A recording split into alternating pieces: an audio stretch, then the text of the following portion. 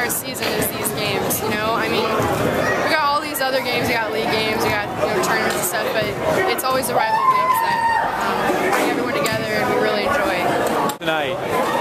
Um, I think we controlled the ball a lot better, and um, you know we uh, made it more of our pace, our kind of style of game. So, and plus we all came together, and uh, we played really well. I think.